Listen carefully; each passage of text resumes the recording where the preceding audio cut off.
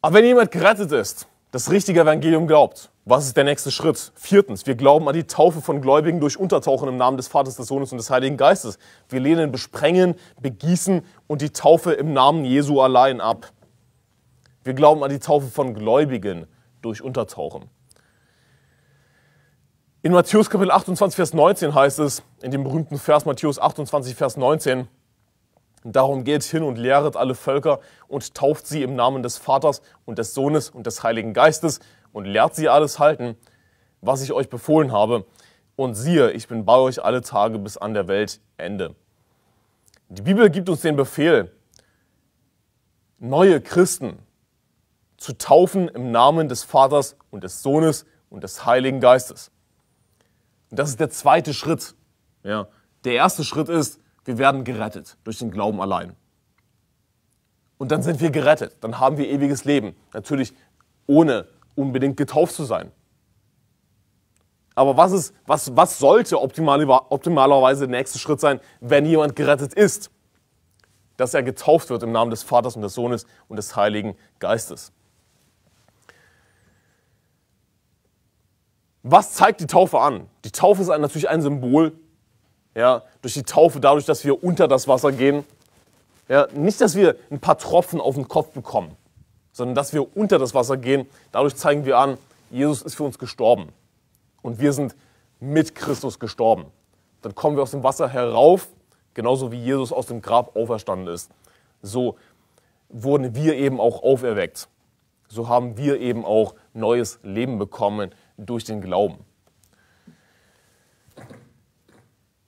Also zum einen ist das Symbol, zum anderen geht es darum, dass wir mit der Taufe anfangen, Jesus Christus nachzufolgen, Gott in diesem Leben zu gehorchen, im Geist zu wandeln, in einem neuen Leben zu wandeln. Wir haben ewiges Leben, wir sind gerettet, wir kommen so oder so in den Himmel, Taufe hin oder her. Aber wir wollen dann auch in einem neuen Leben wandeln, auch Jesus Christus nachfolgen. Schlagt Römer Kapitel 6, Vers 4 auf. Römer Kapitel 6, Vers 4.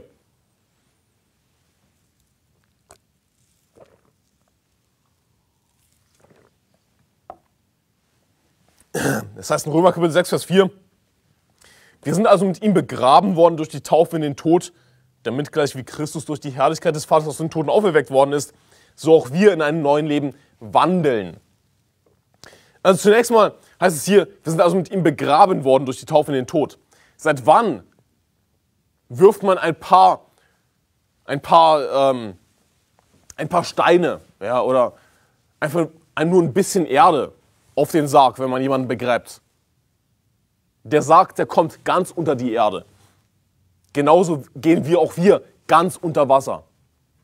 Diese angebliche Taufe in der evangelischen katholischen Kirche ist keine Taufe. Ich meine, hier ist das Ding. Wie werden wir gerettet? Durch den Glauben allein, nicht wahr? Nicht durch unsere Werke. Und die Taufe ist ein gutes Werk. Wir werden durch den Glauben allein gerettet. Wir müssen uns nicht taufen lassen. Also bei der Taufe geht es natürlich hauptsächlich um die Symbolik und dass wir optimalerweise, nachdem wir gerettet wurden, den ersten Gehorsamsschritt im Glauben tun und anfangen, Jesus Christus nachzufolgen. Bei der Taufe geht es hauptsächlich um die Symbolik. Wenn es also um die Symbolik geht und man dann die Symbolik einfach komplett, einfach komplett auf den Kopf stellt und jemanden einfach nur ein bisschen besprenkelt mit Wasser, dann ist das keine Taufe. Was hat das mit einer Taufe zu tun? Seit wann wird jemand einfach nur ein bisschen mit ein paar Stücken Erde beworfen? Sein Sarg, wenn er begraben wird. Das macht keinen Sinn. Das ist kein Begräbnis. Deswegen gehen wir eben ganz unter Wasser. Wir sind also mit ihm begraben worden durch die Taufe in den Tod, damit gleich wie Christus durch die Herrlichkeit des Vaters aus den Toten auferweckt worden ist, so auch wir in einem neuen Leben wandeln. Also wir fangen an, in einem neuen Leben zu wandeln, Jesus nachzufolgen, optimalerweise mit der Taufe. Nun, natürlich ist diese Welt nicht perfekt und in vielen Teilen der Erde gibt es nicht genug Kirchen, ja, wo das richtige Evangelium gelehrt wird, tatsächliche Kirchen in den Augen Gottes, sodass ähm, jemand, der gerettet wurde, auch immer gleich danach sofort getauft werden kann. Natürlich sollte dann derjenige nicht warten, damit zum Beispiel Seelengewinn zu gehen. Ja. Aber optimalerweise ist es eben so wie in der Apostelgeschichte, wo es heißt in Apostelgeschichte 18, 36, siehe, hier ist Wasser, was hindert mich getauft zu werden? Da sprach Philippus, wenn du von ganzem Herzen glaubst, ist es erlaubt. Er antwortete und sprach, ich glaube, dass Jesus Christus der Sohn Gottes ist. Und er wird eben direkt getauft. Er wurde gerettet, hat das Evangelium geglaubt und wird eben direkt danach getauft. Das ist natürlich der Optimalfall. Dieser Optimal Optimalfall wird nicht immer eintreten. Das sollte dich nicht davon abhalten, trotzdem so gut du kannst eben Jesus Christus nachzufolgen natürlich und Seelengewinn zu gehen, die Bibel zu lesen und so weiter. Aber eigentlich sollte die Taufe der erste Gehorsamsschritt sein. Und genauso wie Christus eben durch die Herrlichkeit des Vaters, Römer 6, Vers 4, aus den Toten auferweckt worden ist, so sollen auch wir in einem neuen Leben wandeln. Aber hier ist das Ding, ein Baby kann schlecht in einem neuen Leben wandeln. Es hat noch nicht mal laufen gelernt. Wie soll es dann Jesus Christus nachfolgen und Seelengewinn gehen und so weiter? Das macht keinen Sinn. Aber das, was die katholische Kirche macht, das, was die evangelische Kirche macht, dass sie Babys taufen. Wie behindert ist das denn? Wir glauben viertens eben an die Taufe von Gläubigen durch Untertauchen im Namen des Vaters, des Sohnes und des Heiligen Geistes.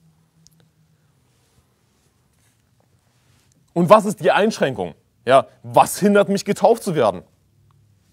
Er antwortete so und sprach, oder äh, da sprach Philippus, wenn du von ganzem Herzen glaubst, so ist es erlaubt. Ein Baby kann nicht glauben, ein Baby kann das kognitiv noch gar nicht verstehen überhaupt, worum es geht.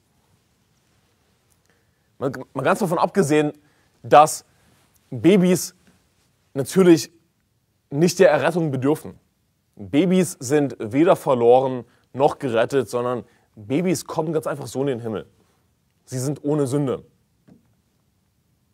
Ja, das, sie brauchen nicht das Evangelium. Irgendwann wird das Kleinkind dann natürlich fähig, zwischen Gut und Böse zu unterscheiden. Es sündigt und es braucht Errettung. Und wenn es gerettet ist, ja, dann sollte sich das Kind natürlich taufen lassen, wenn es an den Namen des Herrn Jesus Christus glaubt.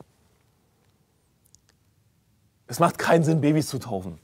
Überraschung. Schlagt Lukas Kapitel 23 auf. Lukas Kapitel 23, Vers 42. Lukas Kapitel 23, Vers 42, da sagt die Bibel, und er sprach zu Jesus, das ist der Dieb am Kreuz. Ja, der Dieb am Kreuz, der gerettet wurde. Lukas Kapitel 23, Vers 42. Und er sprach zu Jesus, Herr, gedenke an mich, wenn du deiner Königsherrschaft kommst. Und Jesus sprach zu ihm, wahrlich, ich sage dir, heute wirst du mit mir im Paradies sein. Der Dieb am Kreuz, was hat er getan? Er hat an Jesus Christus geglaubt, hat den Namen des Herrn angerufen. Herr, gedenke an mich, wenn du in deiner Königsherrschaft kommst. Was sagt Jesus? Oh, du bist nicht getauft. Nein, was sagt Jesus? Heute wirst du mit mir im Paradies sein. Wir werden aus Gnade durch den Glauben gerettet. Aber was sollte dann der nächste Schritt sein? Dass wir uns taufen lassen. Dass wir anfangen, im Geist zu wandeln, im neuen Leben zu wandeln, Jesus Christus nachzufolgen. Und wir sehen das sogar bei Jesus Christus selbst. Wann hat er seinen Dienst begonnen, das Evangelium zu verkündigen? Er hat seinen Dienst begonnen, nachdem er getauft war. Das, das, das war der Beginn seines Dienstes. Und der Himmel hat sich ihm geöffnet und er sah den Geist Gottes wie eine Taube herabsteigen auf ihn kommen. Und siehe, es kam eine Stimme vom Himmel, die sprach, dies ist mein geliebter Sohn, an dem ich wohlgefallen habe. Und dann wurde er eben vom Teufel versucht, in die Wüste geführt und so weiter. Dann heißt es, dass er in der Kraft des Heiligen Geistes eben anfing, das Evangelium zu predigen. Die Taufe sollte der Beginn unseres Dienstes für Gott sein. Denn hey, es ist toll, gerettet zu sein, in den Himmel zu kommen, aber wir wollen dieses Leben natürlich nicht verschwenden. Wir wollen auch Jesus Christus nachfolgen.